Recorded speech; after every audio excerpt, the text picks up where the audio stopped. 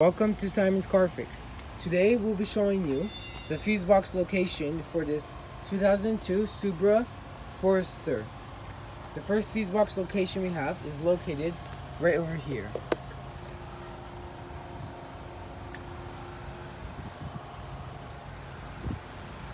And the second fuse box location we have is located right over here. And those are all the fuse box locations for this car. Thank you for watching.